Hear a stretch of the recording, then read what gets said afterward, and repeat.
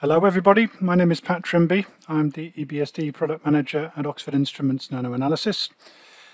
And for this on-demand presentation, uh, I want to talk along with uh, my co-authors listed here about how we can use pattern matching techniques to improve the quality of data that we obtain from eBSD experiments. And this is ongoing research that we have at Oxford Instruments uh, and that recently led to the, the launch of a new pattern matching software, AZtecCrystal MapSweeper. So I'm going to give a very brief introduction into pattern matching.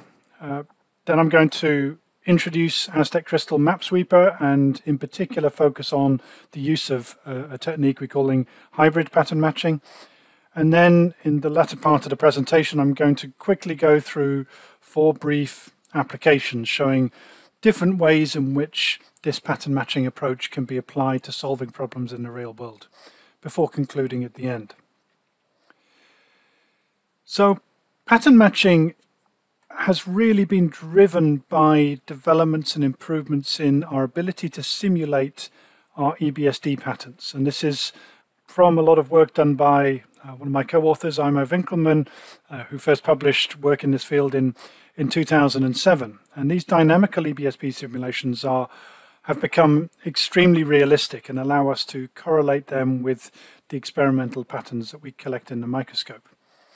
However, the proposal to use these simulations for an indexing process is, is not new. It's actually dating uh, right back to the beginning of of uh, the eBSD development. So Stuart Wright and colleagues in 1991 suggested a technique, and I quote, that compares an electron backscattered Kikuchi diffraction pattern with a set of idealized patterns and finds the best match, which is essentially what we're doing in, in pattern matching. And in that paper, they demonstrated that this is a feasible approach to indexing uh, diffraction patterns. However, it was very, very quickly overtaken by a much more efficient uh, way of indexing, and that's using the, the Hough transform to pick out the Kikuchi bands. And the Hough transform or variants of the Hough transform are what are, are what are used in all commercial systems uh, to this day. However, pattern matching in the last six or seven years has emerged as a quite exciting and powerful technique in the eBSD community in particular because it can get better results on very poor quality or noisy patterns. The fact that we can improve our information so we can get better phase separation, we can improve things like angular precision, or we can even start to extract new information such as the polarity or the chirality of certain phases. Up to now there have been um, only a few published pattern matching techniques. Perhaps the most famous is dictionary-based indexing. And this was first proposed in about 2015, where you generate a library of simulated template patterns. And that library can be very large. So it's typically in the order of a 100,000 up to a few million um, individual simulations. And you need to do that for every phase in your data set. It'll be a larger number as the symmetry of the phase decreases and you're very much limited by the resolution um, of, of the dictionary. So if you want a better resolution, this number of templates will increase quite dramatically. However, it showed a great benefit in terms of extracting more information from very poor quality patterns where Hough-based indexing struggles. An improvement to dictionary-based indexing has um, been proposed in the last three or four years and this is spherical harmonic indexing, where the patterns are being approximated by spherical harmonics, and then the, the process is using correlation theorems on the sphere itself to find the relative rotation uh, and therefore the best matching orientation uh, that would fit each experimental pattern. In turn, this is limited by the complexity of the maths, uh, and in particular by the spherical harmonic transformation uh, with about 100 coefficients. A slightly different approach hasn't really been given a, a, sort of universal name, but we're calling a hybrid pattern matching, um, has been put forward in a number of papers, including uh, this one in 2020 by uh, my co-author Aimo Winkelmann. And this is where the process is using the available prior information, typically from Hough indexing, and then it's optimizing that solution using pattern matching. Uh, and that's what we're going to focus on primarily during this presentation, and hopefully I'll show you just how beneficial this approach can be. In all pattern matching processes, we need to have a good measure of image similarity. So here we have an example. This is an experimental pattern from copper. This is the uh, same orientation for of a, a, dynamical simulation, and you can see visually the two fit very well indeed. This is a, a sort of difference image showing where we have slight uh, differences between the simulation and the experiment. But we need to have a, a fit of how well the experimental and the simulated patterns actually match. And probably the, the most established and the best way of doing this is to use the normalized cross-correlation coefficient, which is normally given the, the letter R. Um, there's many papers on this. It's a very well-established technique.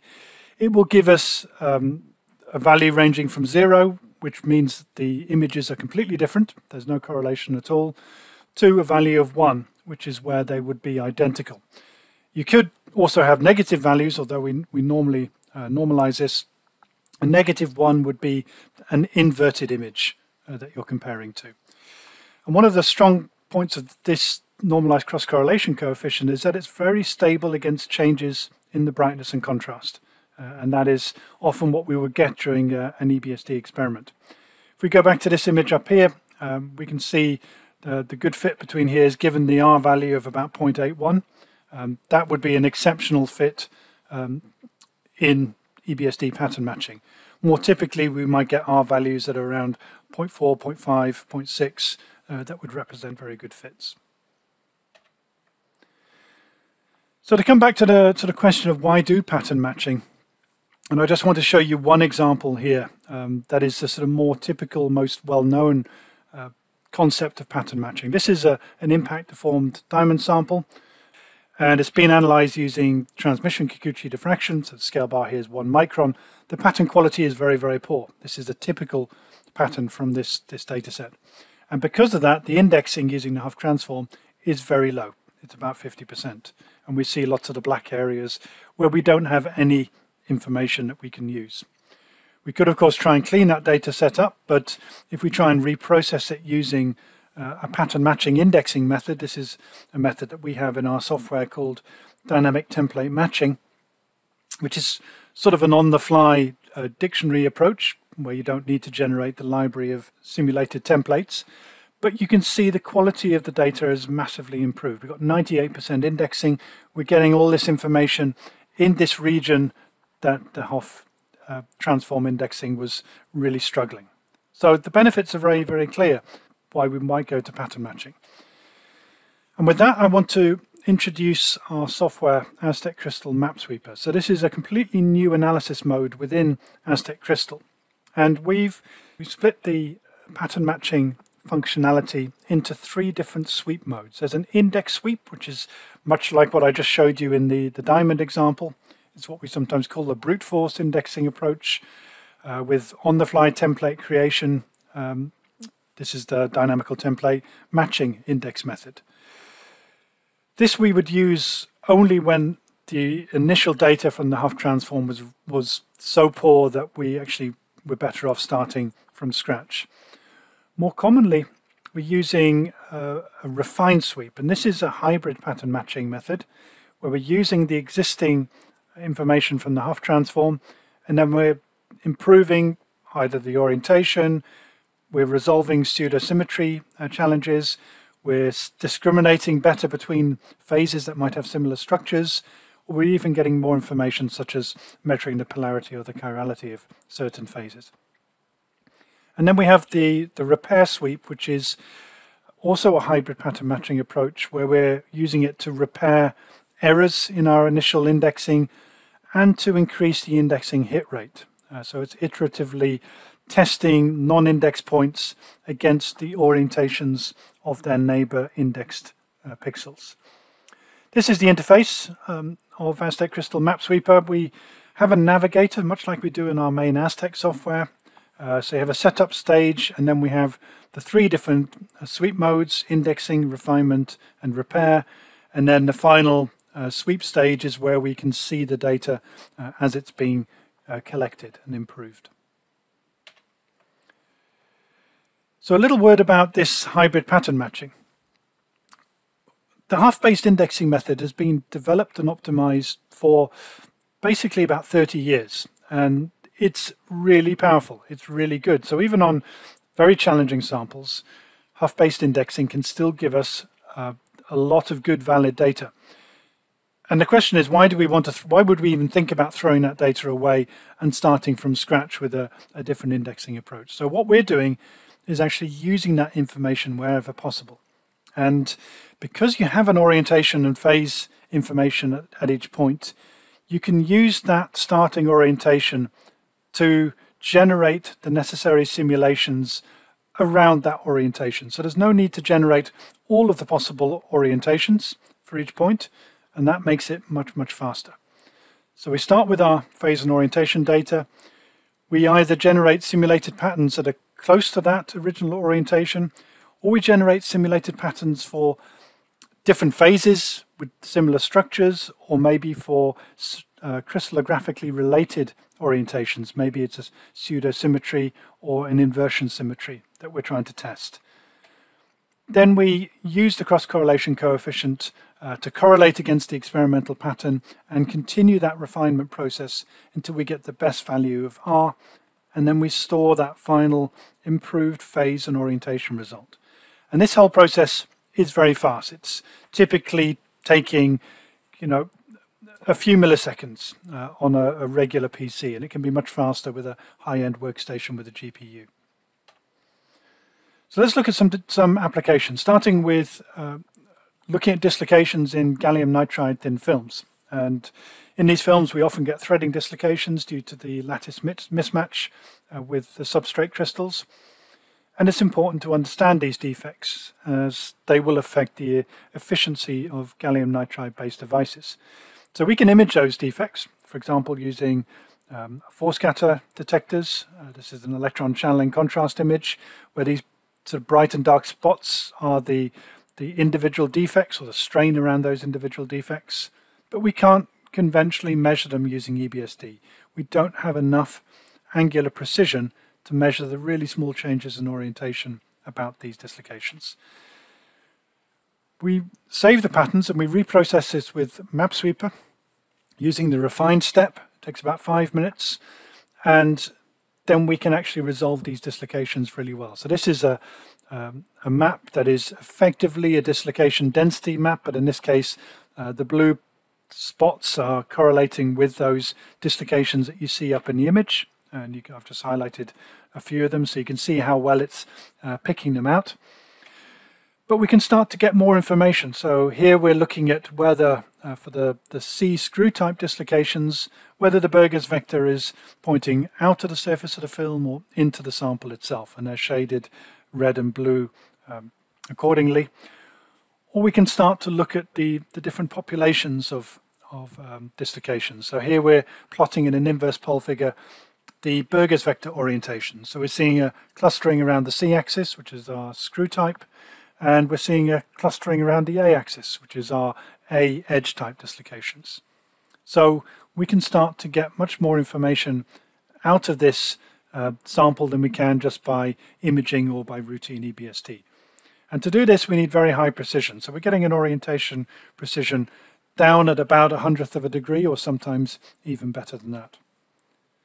Second application is a bit different. This is looking at uh, polarity domains in uh, varistors, uh, in particular in zinc oxide, and it has a non-centrosymmetric structure, and that means that the cation tetrahedra can be in two different kind of ways. They can either point up or point down, and that's giving a different polarity. And we get these inversion domains that are formed in some of the grains, and these are very closely linked to dopants and they will influence the electronic properties of the material. So it's important to be able to, to, to visualize them and to measure them. Now the problem is the changes in the diffraction pattern are so small that conventional EBSD cannot separate the inverted and the non-inverted domains within the same grain. So Here we have a forescatter image. We can see these straight lines cutting across a number of the grains, uh, but in terms of the orientation as measured by Hough-based indexing in the central image, we don't see anything. We cannot resolve them. Run it through AZtecCrystal MapSweeper, and here we're testing for the inversion symmetry, and we can see we're resolving those inversion domain boundaries in the majority of the grains in this zinc oxide sample. So that will give us a much more rigorous characterization of the, the boundary properties of this material. The next application is a little bit different. This is in a steel sample that's got an oxide scale. So we have a, a substrate, which is ferritic, um, which is a body center cubic structure. And then we have two other cubic phases in the oxide scale. We've got an FeO and an Fe3O4, uh, as well as a trigonal Fe2O3 uh, layer. Now these cubic phases are very difficult to separate using standard Hough-based indexing. And we can't really use the chemistry because the chemical variations between, for example, FeO and Fe3O4 are just too, too subtle for EDS to resolve. So we've reprocessed this using MapSweeper's Refine Sweep, and we've told the system to, to test all three cubic phases against each other to improve the phase separation. And we get quite dramatic improvement in the results. The left-hand side is a phase map um, using Hough-based indexing. So we have the ferrite um, substrate in red. This is our FeO layer, uh, which should be all purple, but we can see a lot of those areas have been uh, indexed uh, with the green color, which is Fe3O4. And then there's a little bit of the yellow Fe2O3 on the outside.